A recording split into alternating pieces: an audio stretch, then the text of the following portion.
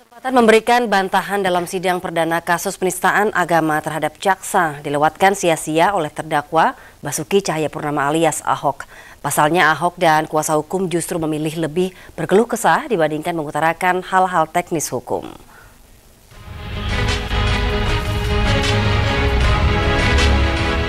Mungkin tidak pernah terbayangkan sebelumnya oleh kuasa hukum Basuki Cahayapurnama alias Ahok. Kesempatan yang memberikan bantahan terhadap jaksa dilewatkan sia-sia. Pasalnya Ahok dan kuasa hukum justru lebih memilih berkeluh kesah dibandingkan mengutarakan hal-hal teknis hukum. Dan Anda tidak usah khawatir ya, kalau saya sih lihat jawaban kemarin itu nggak ada apa-apa, nggak, nggak, nggak. Tidak ada yang perlu dipikirkan. Padahal seandainya saja tim kuasa Ahok mengerti hukum, tim Ahok akan mempersiapkan diri sebaik mungkin. Karena ada surat edaran Mahkamah Agung yang satu ini yang akan menjadi pedoman hakim.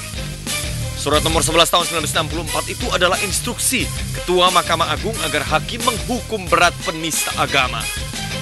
Dan ini memang secara formal memang tidak dinyatakan dicabut. Pernyataan Gubernur DKI Jakarta dikategorikan yang pertama menghina Al-Quran dan atau menghina ulama. Hak angket itu kepada hak menyatakan pendapat, yaitu menyatakan pendapat misalnya untuk memberhentikan gubernur. Nah, drama apa lagi yang akan dilihat dalam persidangan Ahok selanjutnya? Mari kita tunggu bersama. Tim MNC Media melaporkan.